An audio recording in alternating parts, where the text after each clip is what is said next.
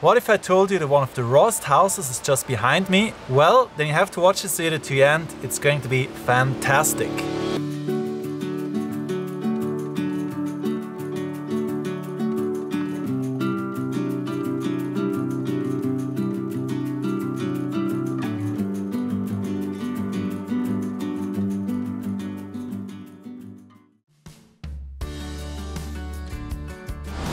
This hike is going to start with passing the village of Foroglio and I'm already very excited because it's my fifth time and now without people because it's still early in the morning. It's only 10 a.m. So here at the entrance at the village of Foroglio you can see it shows the directions where you should hike to and the topmost, Calnegia, that's where you have to go.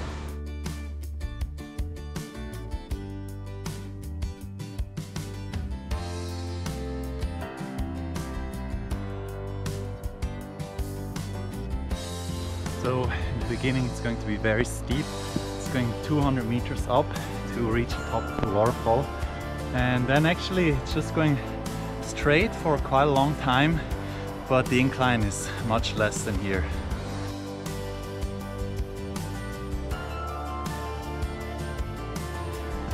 Today it's very hot, it's 30 degrees. Well, not yet, but it's going to be. And that's why I came here early, because I want to make sure I reach the top before it's going to be really hot. And then the good thing here is the ascent is all in the forest, so it's always in the shade, which is really good. Whew. But uh, it's already quite ascending, I have to say.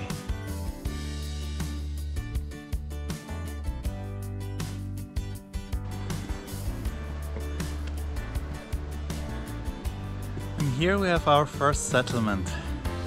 And I guess we're just halfway now, so still quite of an ascent.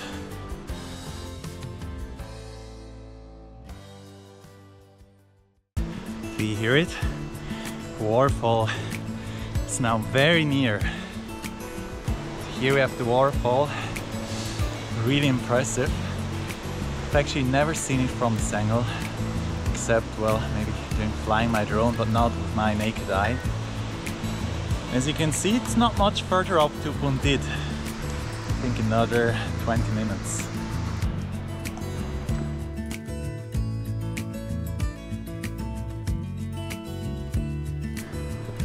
It's quite an ascent, but it's less steep than I thought. And the view is really fantastic.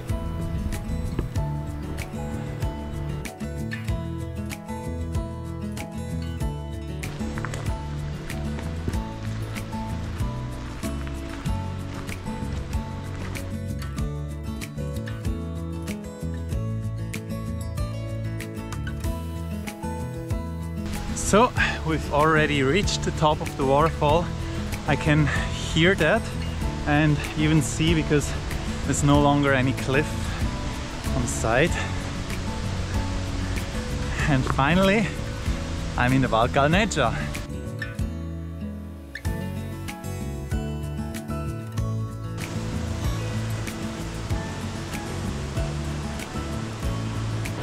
Now the first highlight the bridge of Puntid.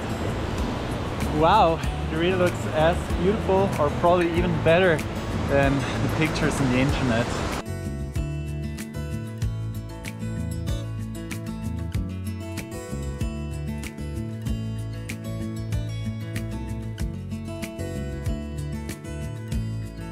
I don't know what this door is exactly for, but maybe it is for the goats or wildlife animal to not pass the bridge.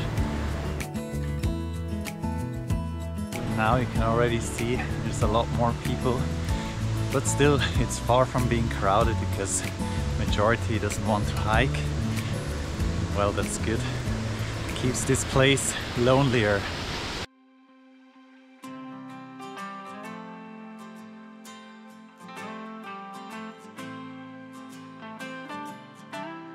You can see there are a lot of rocks everywhere, really big rocks. And this is because a few centuries ago there was a mountain slide the Val Calnegia and also the Val Bavona and this actually led to some really great architectural wonders like the house that I'm going to show you.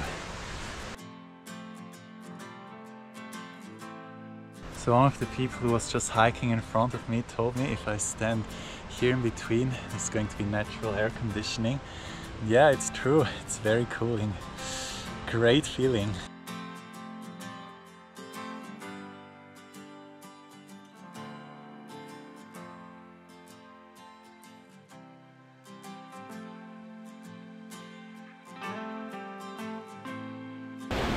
So up from Puntid the hike is super easy and here we are the Splüi Bela, beautiful rock house. Let's go and take a look at it from close.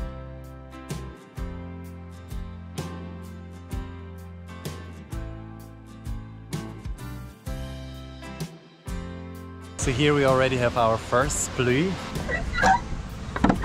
here, this is the room for storing the cheese. Like a hobbit house, what some people say about this area.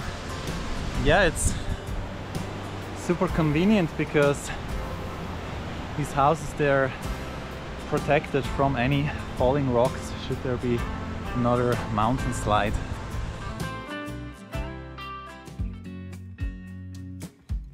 So this here is a stable for the pigs and then the one for the goats is just on the other side. This here is a stay for the goats. Yeah, there's definitely enough place. And it's also nicely protected from the rain.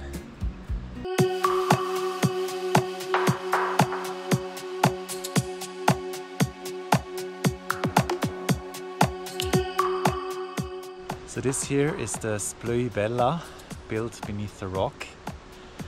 Wow, really impressive.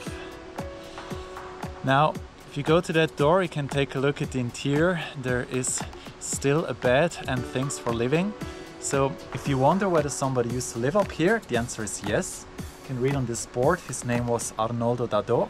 He used to live from 1916 until 2002 and he came up here during summer with his goats.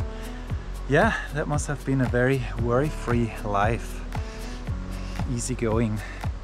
And I quite envy him for that, I have to say. But now it's already more than 20 years since he passed. Now on the roof of the Splüi, not too sure whether it's allowed, but there's no sign whether this is private.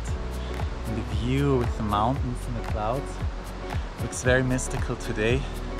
Unfortunately, there's not too much sun, but then fortunately, it's not too hot.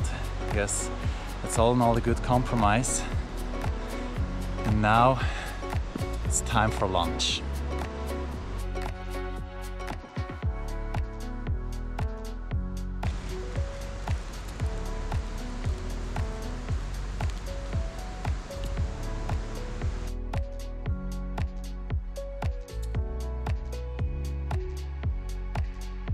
So this here is a balcony. I really love this, especially because it's beneath a rock.